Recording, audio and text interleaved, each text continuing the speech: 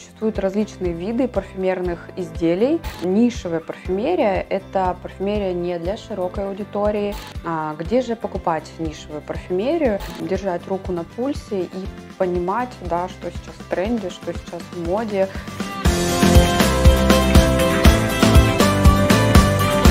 Приветствую, меня зовут Валерия Нестерова и на своем канале я рассказываю о парфюмерии.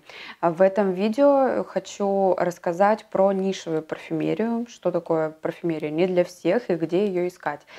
А, как вы знаете, да, существуют различные виды парфюмерных изделий а, на современном парфюмерном рынке. Допустим, это парфюмерия сегмента или класса люкс.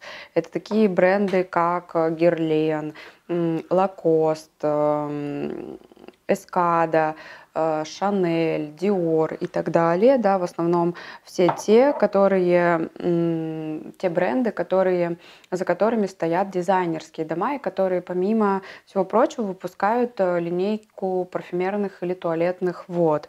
Это сегмент класса люкс. Все другое, все, что отличается от сегмента класса люкс, я сейчас масс-маркет не затрагиваю парфюмерию и сетевую парфюмерию тоже не затрагиваю. В общем, все остальное это является либо селективной, либо нишевой парфюмерией.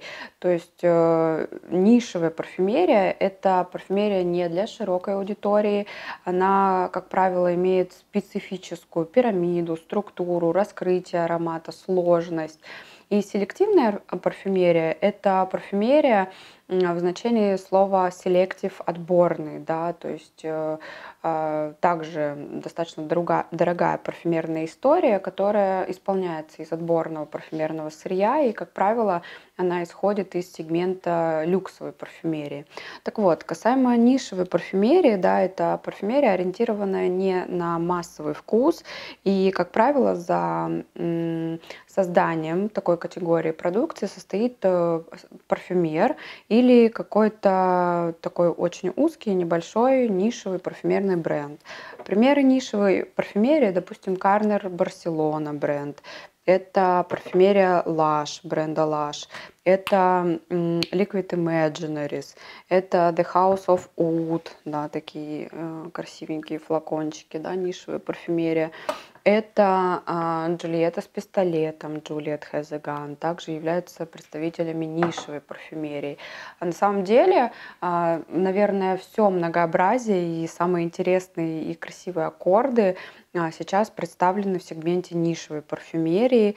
И это те бренды, которые у всех на слуху. Это Куркджан, это Экс Нихила, это Тициана Терензи и так далее. Их очень много.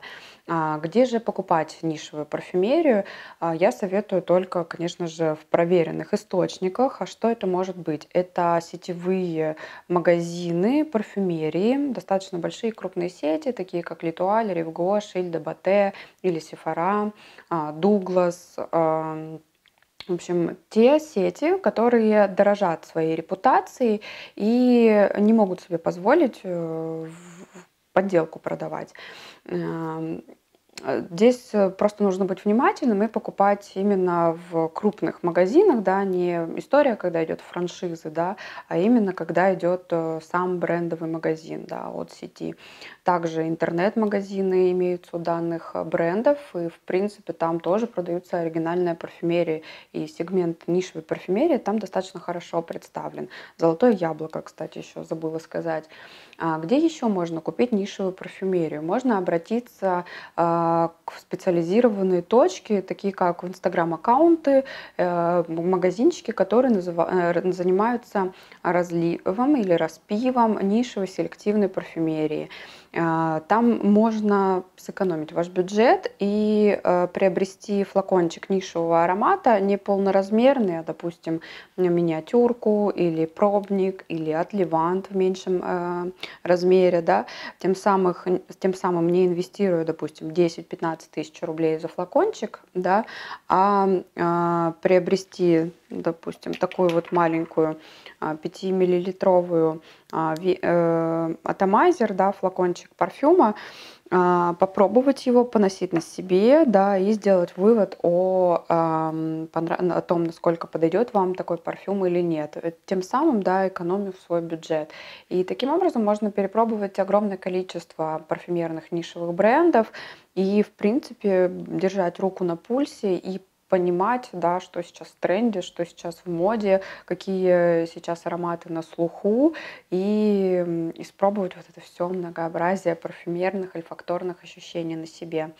Поэтому советую вам а, экспериментировать, особенно с категорией нишевой парфюмерии, потому что действительно очень много очень вкусных ароматов, и я уверена, что вы, изучив э, да, а, определенное количество ароматов, подберете для себя не только один подходящий парфюм, но и составите целый парфюмерный гардероб.